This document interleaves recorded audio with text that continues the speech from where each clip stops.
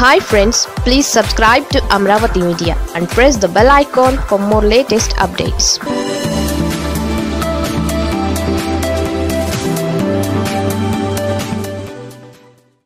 ఏపీలో ఆ రెండు జిల్లాల్లో లాక్డౌన్. ఆంధ్రప్రదేశ్లో కరోనా రోజురోజుకు విస్తరిస్తోంది. ముఖ్యంగా రెండు జిల్లాల్లో పరిస్థితి తీవ్ర ఆందోళన పెంచుతోంది. మొన్నటి వరకు వంద లోపే ఉన్న కేసులు ఇప్పుడు వెయ్యి మార్కుకు చేరువవుతున్నాయి ఇదే పరిస్థితి కొనసాగితే ఆ రెండు జిల్లాల్లో లాక్డౌన్ తప్పదనే భయం పెరుగుతోంది. ఇప్పటికే కఠిన ఆంక్షల దిశగా అధికారులు ఆలోచన చేస్తున్నట్లు సమాచారం. ప్రస్తుతం ఏపీ వ్యాప్తంగా కఠినంగా నైట్ కర్ఫ్యూ అమలు చేస్తున్నారు. నిబంధనలు ఉల్లంఘిస్తే కఠిన చర్యలు తీసుకుంటున్నారు. అయితే ఏపీ వ్యాప్తంగా ఓ లెక్క ఉంటే ఆ రెండు జిల్లాల్లో పరిస్థితి మరీ దారుణంగా ఉంది. ముఖ్యంగా చిత్తూరు విశాఖ జిల్లాలను వైరస్ తీవ్రంగా భయపెడుతోంది.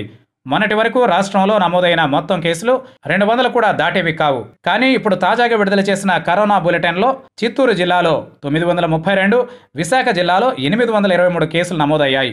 మిగిలిన జిల్లాలతో పోలిస్తే ఈ రెండు జిల్లాల్లో ఇంతలా వైరస్ విస్తరించడానికి అనేక కారణాలు ఉన్నాయి ప్రస్తుత పరిస్థితి చూస్తూ ఉంటే ఈ కేసులు మరింత రెట్టింపు అయ్యే ప్రమాదం ఉంది.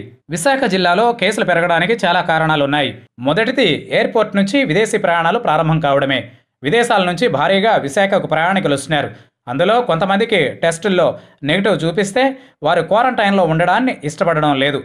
మరికొంతమంది తప్పుడు అడ్రస్ ఇచ్చి ఉంటున్నారు. ఇలాంటి వారితో కేసులు పెరిగే ప్రమాదం ఉంది. విశాఖ రైల్వే స్టేషన్కు కూడా భారీ సంఖ్యలో ప్రయాణికులు వస్తూ ఉంటారు వెళుతూ ఉంటారు. ఉత్తరాంధ్రలో ఏ గ్రామానికి వెళ్ళాల్సిన వారైనా ఎక్కువ మంది విశాఖలోనే దిగుతారు. అక్కడ నుంచి ఆటోలు ఇతర వాహనాల్లో సొంతోళ్ళకి వెళ్తారు.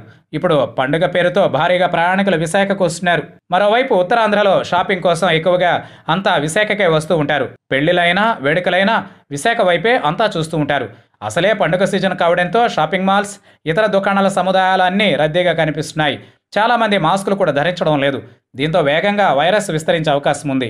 ఇక చిత్తూరు జిల్లాలో భారీగా కేసులు పెరుగుతున్నాయి అంటే అందులో సగానికి పైగా తిరుపతిలో సోకినవే ఉంటాయి. తిరుమలకు నిత్యం వేలాది మంది భక్తులు భారీగా ఇతర ప్రాంతాల నుంచి చేరుకుంటారు.